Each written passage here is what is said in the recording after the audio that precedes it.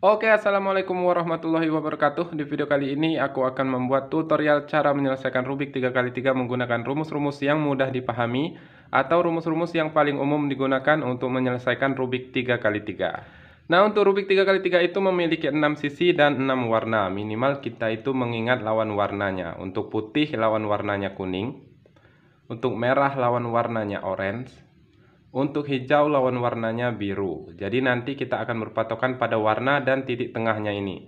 Karena titik tengah ini tidak akan bergeser walaupun sisi yang ini, sisi yang di samping-sampingnya ini digeser. Selanjutnya kita akan mempelajari gerakan rumus. Untuk yang bagian kanan ini kalau diputar searah jarum jam seperti ini.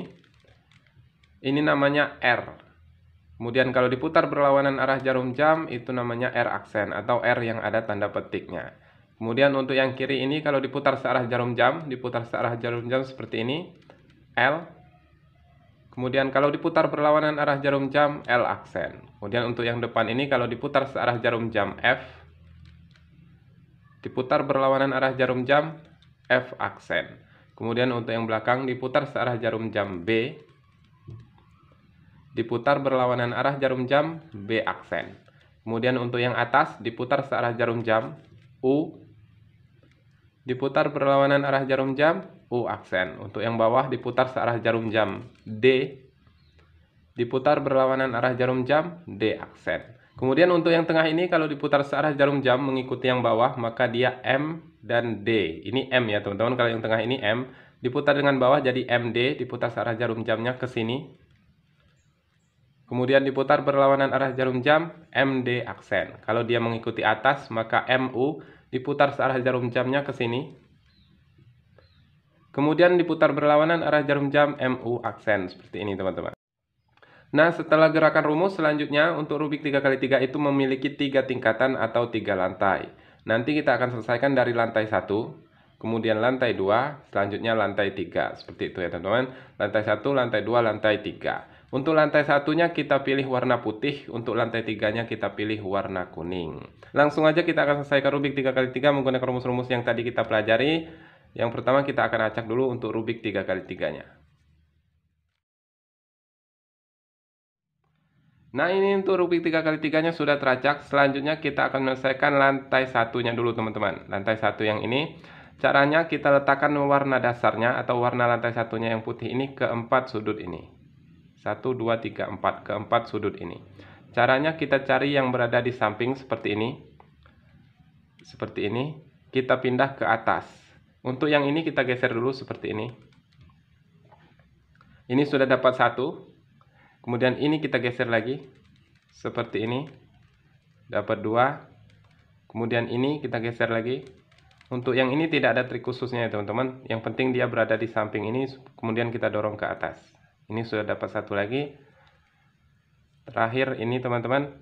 Ini kalau kita dorong seperti ini maka yang ini akan bergeser maka yang atas kita putar dulu. Ini kita putar dulu kemudian ini kita dorong ke atas seperti ini. Kemudian selanjutnya ini kita samakan warnanya. Untuk yang samping ini kita samakan warnanya untuk oranye kita samakan ke titik tengah yang oranye ini. Oranye oranye putih kemudian kita putar dua kali ke bawah satu dua Selanjutnya hijau sudah sama. Ini kita putar dua kali ke bawah.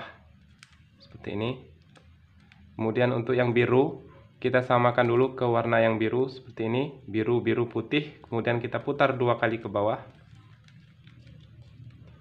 Kemudian untuk yang merah kita samakan dulu ke warna yang merah seperti ini.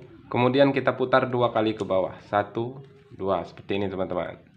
Setelah jadi seperti ini, dia seperti bentuk tambah. Kemudian di sininya sudah warna sama, merah, biru, oranye, dan hijau. Jadi ini bentuk tambah, ininya sudah sama.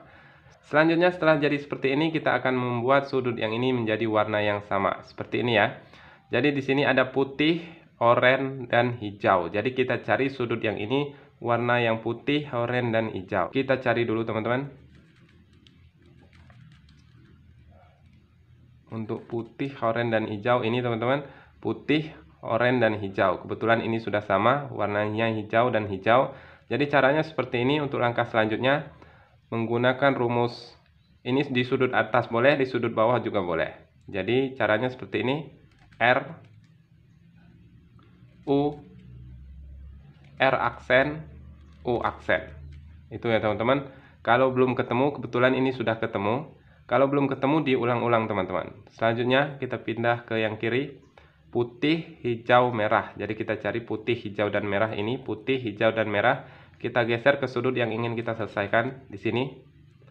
Kebetulan sudah sama lagi. Kalau merah dengan merahnya sudah ketemu ini, cukup satu kali aja teman-teman. R, U, R aksen, U aksen. Kita cari lagi putih, biru, merah. Ini teman-teman. Kebetulan sudah jadi lagi teman-teman. Putih, biru, dan merah. Ini tinggal kita gunakan rumus yang tadi. R, U, R aksen, U aksen. Selanjutnya ini sudah sama ya teman-teman. Aku akan buat satu kemungkinan yang enggak sama. Nah, seperti ini teman-teman. Kalau putih atau oranye di atas. Jadi caranya sama seperti tadi tapi diulang-ulang. Ini sudah di sudut yang atas. Caranya kita pakai rumus yang tadi diulang. R, U, R aksen, U aksen. Diulang terus teman-teman sampai dia ketemu. Baru dia jadi teman-teman. Untuk lantai satunya sudah jadi.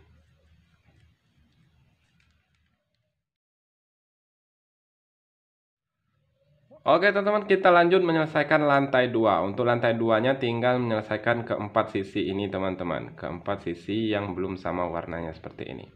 Caranya adalah kita mencari yang di atas ini teman-teman. Yang di atas ini yang tidak ada warna lantai 3 atau warna kuning. Jadi kita akan cari yang tidak ada warna kuning. Ini ada kuning Ini ada kuning Ini juga ada. Jadi cuma satu ini yang tidak ada warna kuning teman-teman Caranya kalau dia belum sama seperti ini kita samakan dengan titik tengahnya. Kebetulan ini sudah sama tadi. Jadi hijau dengan hijau, kemudian yang di atas oranye teman-teman. Kalau di atasnya oranye kita perhatikan sisi sampingnya atau titik tengah yang di samping. Ini oranye dan merah. Jadi kalau oranye di kanan, ini oranye dan oranye. Jadi kita putar untuk rumus pertama kita gunakan U seperti ini teman-teman atau putar ke kanan. U seperti ini teman-teman. Kemudian setelah U Langkah selanjutnya adalah R U R aksen. Kemudian ini tadi M dan D M D aksen. Kemudian L aksen, U aksen, L. Jadi teman-teman, untuk satu sisinya teman-teman itu tadi kalau dia di sebelah kanan ya teman-teman. Nanti akan ada kemungkinan di sebelah kiri teman-teman. Kita cari lagi sudut yang atas ini yang tidak ada warna kuning. Ini ada nah, ini teman-teman. Kebetulan biru dan birunya sudah sama. Jadi kalau dia belum sama seperti ini kita samakan dulu untuk birunya dan biru titik tengah ini teman-teman. Di atasnya merah sama dia di sebelah kanan. Jadi untuk rumusnya ini kita putar seperti ini. U R U R aksen. Kemudian M D aksen. L aksen U aksen L. Jadi teman-teman untuk sudut yang kedua. Selanjutnya kita cari lagi yang tidak ada warna kuning ini. Oranye dan biru. Untuk oranye kita cari dulu di titik tengah yang sama seperti ini. Oranye oranye biru birunya di kanan lagi teman-teman. Kita pakai rumus yang tadi. U R U R aksen. Kemudian MD aksen. L aksen U aksen L. Bentuk yang ketiga sudah jadi teman-teman. 1 2 3 sudah jadi. Selanjutnya ini teman-teman yang terakhir hijau dan merah ini yang terakhir teman-teman kita samakan dulu untuk titik tengahnya hijau dengan hijau. Seperti ini ya teman-teman. Nah teman-teman untuk merahnya ini di sebelah kiri. Beda dengan yang tadi di sebelah kanan. Jadi kita pakai rumus yang kiri teman-teman. Caranya seperti ini. Untuk langkah pertama U aksen. Seperti ini ya teman-teman. Kalau yang merah sama warna yang di atas ini di sebelah kiri. Jadi yang pertama U aksen. Kemudian L aksen. U aksen. L kemudian MD MD biasa kemudian R, U, R aksen. Jadi teman-teman, untuk rumus kedua, kebetulan kita sudah dapat dua rumus teman-teman. Untuk lantai satu dan lantai dua sudah jadi teman-teman.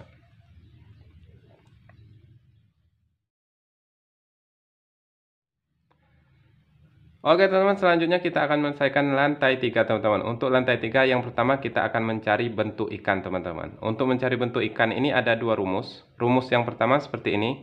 Kita cari dua sisi kuning di sampingnya ini teman-teman. Ini kuning, bisa. Jadi ini teman-teman ya. Pertama rumusnya seperti ini. F. Jadi ini perlu teman-teman hafal ya teman-teman. Ada dua rumus. Pertama F. R. U R aksen, U aksen, kemudian F aksen. Seperti itu ya teman-teman. Ini kita ulang-ulang eh, beberapa kali. Kita ulang lagi seperti tadi. F, R, U, R aksen, U aksen, F aksen. Setelah jadi seperti ini teman-teman, boleh yang ini kita pakai. Kita ulang lagi. F R U R aksen U aksen F aksen. Jadi bentuk ikan teman-teman. Ini cara yang pertama ya teman-teman. Kemudian nanti teman-teman akan menemukan beberapa bentuk seperti ini. Kalau teman-teman udah ketemu bentuk yang seperti ini kita pakai rumus yang kedua. R U R aksen U R U dua kali R aksen. Jadi bentuk ikan teman-teman. Kemudian nanti kalau berbentuk plus seperti ini bisa juga ini kita hadapkan seperti ini ya teman-teman. R U R aksen U R U dua kali R aksen. Nanti dia akan berbentuk seperti ini Lanjut, yang ini menghadap ke kita ya teman-teman. Yang ada kuning satu ini menghadap ke kita. Pakai rumus yang kedua. R, U, R aksen, U, R, U dua kali, R aksen. Lanjut lagi. Ini untuk tahap yang ketiga. Ini sudah menghadap ke kita teman-teman. Bedanya yang tadi di samping, kalau dia berada di samping kuningnya, seperti ini ya teman-teman. Tapi kalau dia berada di depan, kita pakai rumus yang kedua tapi menghadap ke sini teman-teman. R U R aksen U R U dua kali R aksen. Jadi bentuk ikan teman-teman.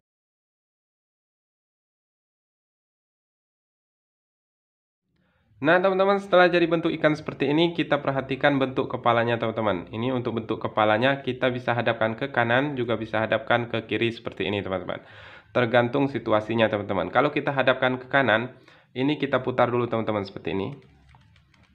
Dia ada warna kuning, berarti ini benar teman-teman. Jadi benar-benar dia menghadap ke kanan. Kalau kita hadapkan kiri, ini kita putar, tidak ada warna kuningnya seperti ini teman-teman, maka dia salah teman-teman ya.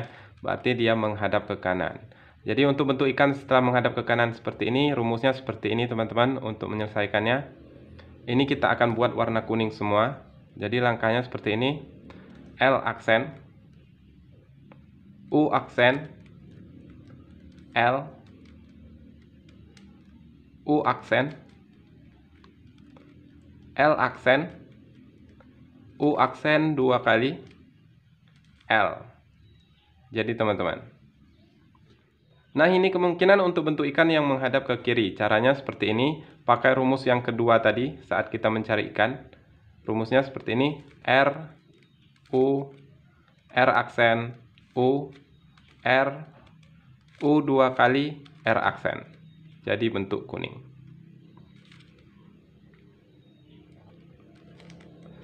Selanjutnya setelah semuanya menjadi bentuk kuning seperti ini, langkah selanjutnya menggunakan rumus seperti ini untuk yang sudah jadi atau dua warna yang sudah jadi di sini, kita taruh di sebelah kiri ya teman-teman. Kita taruh di sebelah kiri menggunakan rumus yang ini. B aksen R B aksen. L aksen dua kali. Kemudian B R aksen B aksen. L aksen dua kali. Kemudian ini bagian ini B aksen dua kali. Dia hampir jadi semua warnanya seperti ini teman-teman. Setelah jadi seperti ini ininya kita samakan langkahnya L aksen. U L aksen. U aksen L aksen. U aksen L aksen U. L U. L dua kali. Oke ini udah ada satu yang jadi. Selanjutnya yang jadi ini kita taruh di luar seperti ini. Kita perhatikan warna hijaunya hijau ini kita samakan karena dia di kiri untuk hijaunya. Jadi kita pakai rumus yang tadi. Ini langkah terakhirnya ya teman-teman. Rumusnya seperti ini. L aksen. U L aksen. U aksen. L aksen.